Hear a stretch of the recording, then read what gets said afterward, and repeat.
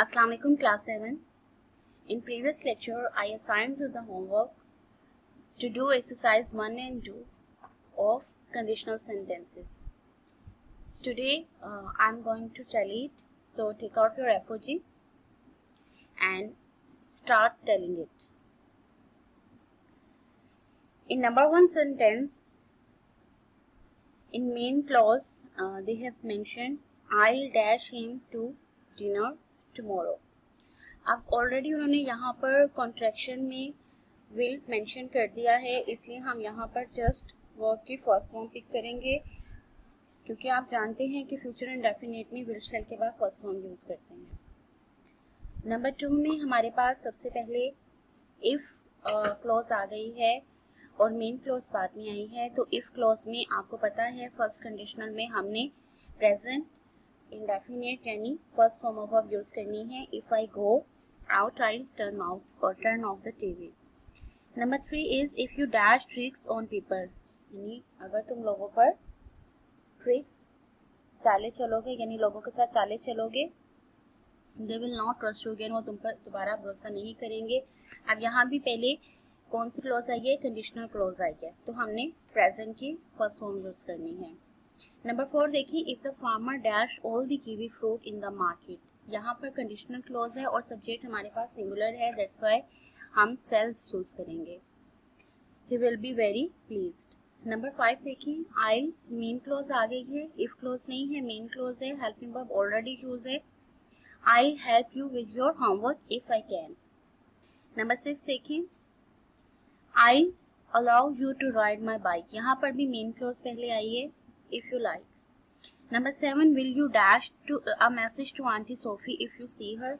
यहाँ पर B main close पहले आई है तो विल के बाद पास आएगा यानी फ़र्स्ट फॉर्म हम यूज़ करेंगे पास इफ़ यू डोंट यहाँ पर हमारे पास कंडीशन इफ़ क्लोज आ गई है if you don't leave now you will be late for school number nine में मेन क्लोज है सबसे पहले अब यहाँ पर मैं बार बार मेरे मेंशन करने का मकसद ही ये है कि आप आइडेंटिफाई करना सीखें कि ये कंडीशनल सेंटेंसेस में जो दो क्लोजेज होती हैं, उनमें एक जो है वो दो क्लोजेस के क्या नेम हैं? इफ़ वाली क्लोज जो इफ़ जहाँ पर हमारे पास इफ़ की कंजक्शन आ रही है, उसे हम इफ़ क्लोज कहते हैं और जो दूसरी क्लोज होती है वो मेन होती है। और मैंने आपसे कल भी कहा था कि इट इज़ नेसेसरी कि हम इफ़ क्लोज को हमेशा स्टार्ट में लिखें या हम हमेशा मेन क्लोज को स्टार्ट में लिखें, कोई भी पहले आ सकती है क्लोज अगर आप इफ़ क्लोज को स्टार्ट में लिखेंगे तो आप क्या करेंगे? आप जो है कोमा यूज़ करेंगे और मेन क्लोज को अगर स्टार्ट में लिखेंगे तो कोमा रिक्वायर्ड नहीं है। यहाँ कोमा रिक्वायर्ड नहीं है। Will you inform me if you if you are going to be late if he works hard यहाँ पे देखें इफ़ क्लॉज पहले आ गए तो कोमा आएगा he will win the competition exercise two देखिए हमारे पास हमने ब्लैंक्स को भी फिल करना था और सर्कल भी करना था। मैं सिर्फ़ आंसर यहाँ पर बोलती जाती हूँ। नंबर वन है if Manchester United wins the match अब यहाँ पर इफ़ क्लोज पहले आ गई है तो यहाँ पे विल गो होगा। They will go into the next round number two देखें द रिवर यानी मेन क्लोज है इफ़ नहीं आ रहा तो ये मेन क्लोज है the river will burst the river will burst its banks of if this rain if this heavy rain continues number three देखें इफ़ क्लोज सबसे पहले यूज़ हो रही है तो हमने प्रेजेंट टेंस यूज़ करना है। If that dog dog singular है तो इसलिए बाग्स आएगा। यहाँ देखिए बाघ भी है और बास भी है। You have to be careful कि हमने सिंगुलर सब्जेक्ट के साथ सिंगुलर वर्ब यूज़ करना है। All light again I complain to the number four the shop main clause है। Will close if it doesn't increase its business if clause आएगी present tense आएगा। If you don't put the milk in the fridge it will go off यानी ये खराब हो जाएगा। If the library if the library isn't open, यहाँ पर passive के फॉर्म में आ रहा है, if the library isn't open, we'll go to the museum. इसे चेक कर लें, मुझे लगता है कि बहुत से स्टूडेंट्स ने डोंट ओपन का यूज़ किया होगा। नंबर सेवन देखिए will you phone me tonight if you get back in time if clause बाद में आई है, सब तो मेन क्लॉज में हमने फ्यूचर टेंस पिक करना था। इफ़ क्लॉज ऑलरेडी सॉल्व है if it stops training will you play tennis with me main clause में फ्यूचर टेंस आ गया।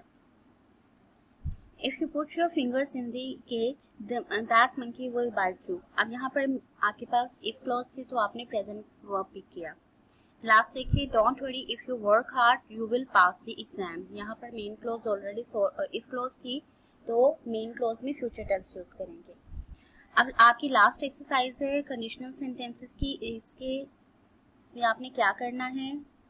ये मैंने कल इसीलिए आपको नहीं दी थी क्योंकि इसमें थोड़ा सा मैंने आपको गाइड करना था। इसमें कह रही हैं आपसे put the correct form of verb to make first conditional sentences अब यहाँ पर आपको पता है कि इफ़ क्लोज में आपने प्रेजेंट टेंस यूज़ करना है और मेन क्लोज में फ्यूचर ये देखते हैं आप यहाँ पर आपके पास बी आ रहा है।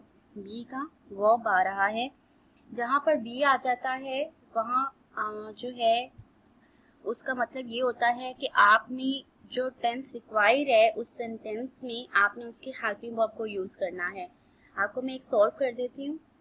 If you dash present tense आएगा तो हम गेट को गेट ही यूज़ करेंगे, क्योंकि यू के साथ हमने जस्ट फ़र्स्ट फॉर्म यूज़ करनी है। If you get back late अब यहाँ पर मैंने आपसे कहा कि हम हेल्पिंग वर्ब यूज़ करेंगे तो हम क्या करेंगे?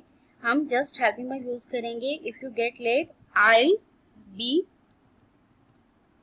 and be अब यहाँ पर बी साथ में रहेगा।